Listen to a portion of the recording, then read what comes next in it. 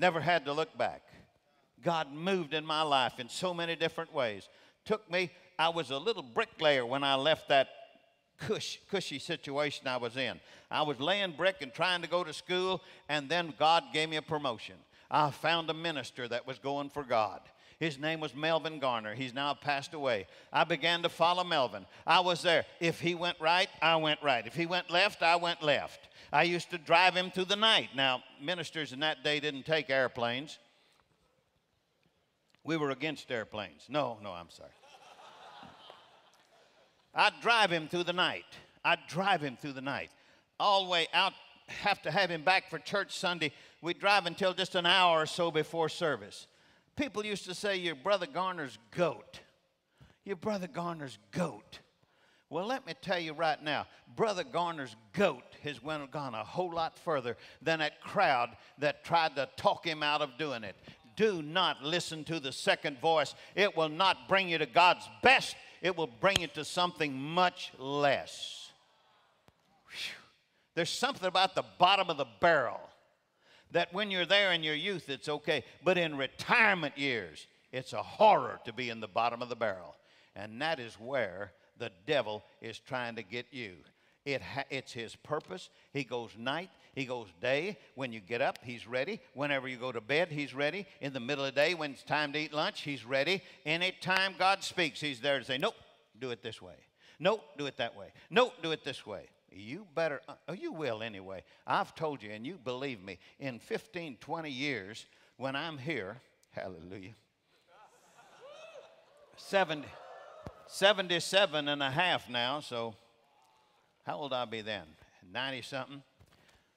But you ask, you look and say, Brother John, I didn't ever hear the second voice. No one will be able to say that.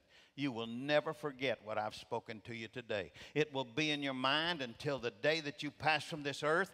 Child of God, it is there, it is real, and until the Lord puts him in the bottomless pit, that second voice will be speaking, and he'll be talking very plain and very logically, very logically to you.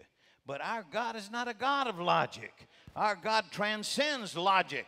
He goes beyond all of the things that man thinks they know, and he goes into a realm that's above and beyond anything that anyone can imagine. I serve the great God of the universe, is who I serve. And when He speaks, it'll be the first voice. But immediately after that, there'll be a second voice. Are you grasping what I'm saying to you? Go a little further with me. We come to Achan.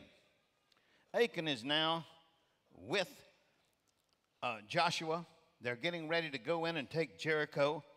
The time is ready, and God speaks. The first voice says, don't take any of the wealth. You bring it all into the house of God. The first fruits will go to the house of God. Just like the tithe now goes to the house of God.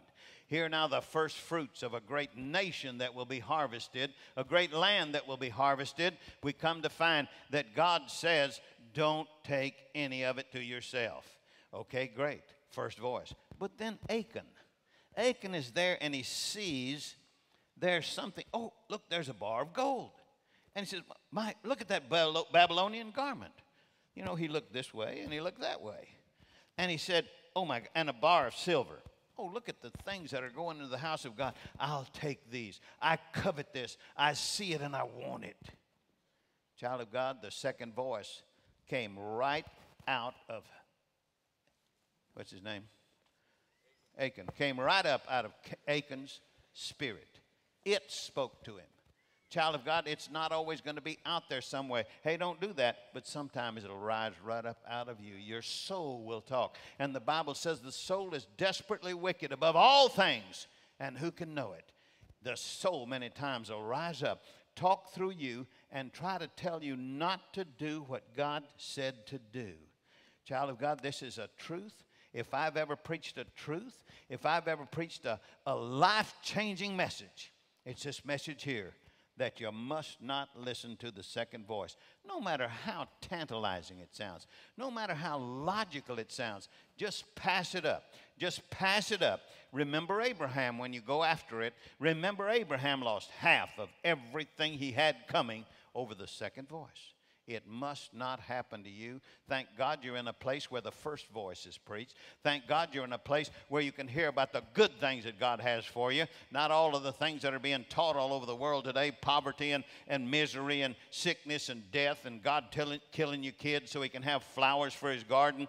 This is not God's best. You are in a place where the truth of God's being taught. The strength of God is here. And when you listen here, that first voice comes across this pulpit again and again and again. Hallelujah.